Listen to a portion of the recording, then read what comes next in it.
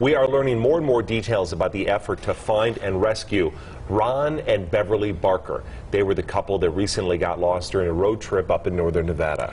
So only Beverly was found alive. Search crews say both vehicles they were traveling with were actually stuck off the main road, and they were in a very difficult spot to, uh, to even locate.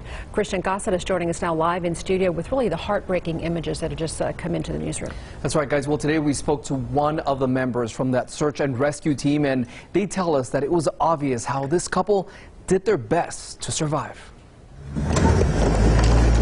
A challenging mission for Dave Sparks and his search and rescue team.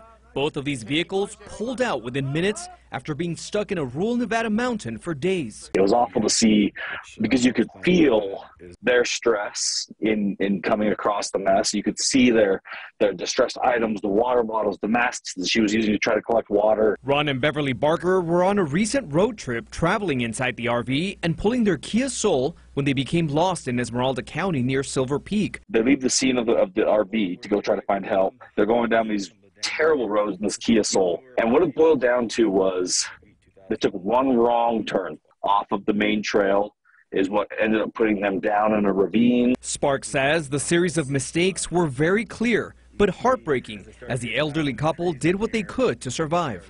I got real choked up when I saw her walker just sitting there you know, by the door of her car, and, and, and she'd been trying to climb up and down that mountain. After seven days, the couple was found, but Ron did not survive.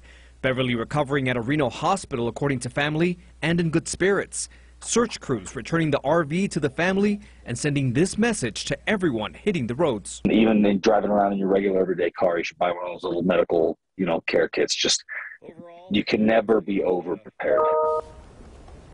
Well, Sparks also telling us that the RV and the Kia were found just a short distance from each other and really hidden from the public eye.